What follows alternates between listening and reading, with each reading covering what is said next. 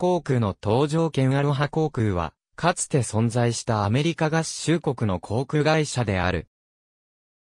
ハワイ州ホノルルを拠点に、ハワイ諸島などを結ぶ航路を運航していたが、2008年3月、下旬に、原油価格の高騰などの影響を受け破産、同年3月31日をもって、すべての旅客便の運航を停止、その後、貨物便の運航も停止した。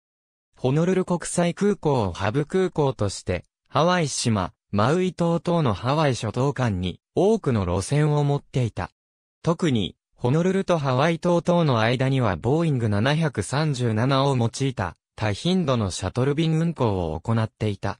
また、ハワイとアメリカ合衆国本土西海岸のサンフランシスコ、サクラメント、オレンジ郡等との間でも広範囲に定期便サービスを展開していた。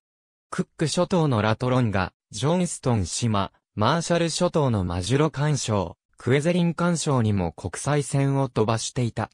同社のフリークエントフライヤープログラム、アロハパスは、ユナイテッド航空のマイレージプラスプログラムのパートナーとなっていた。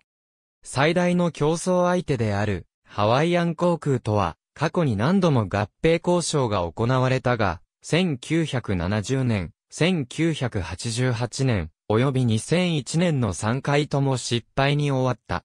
アロハ航空は、現地で出版業を営むる DF、トンシニアによって設立され、1946年7月26日のアロハフライデーの日に運行を開始した。先発の航空会社であるハワイアン航空との競合関係から当初はチャーター便運航会社トランスパシフィック航空としてスタートした。運行後間もなくザ・アロハエアラインとニックネームで呼ばれるようになり、後に社名も同様に変更された。定期便航空会社としての免許は1949年6月6日に交付された。アロハ航空会社が操業を停止した時点で以下の航空機を運航していた。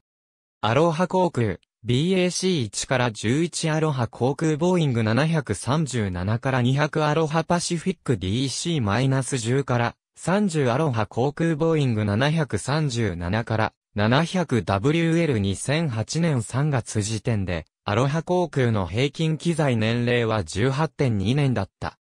アロハ航空が以前に使用していたジェット機として、ボーイング737から300やボーイング737から400が存在する。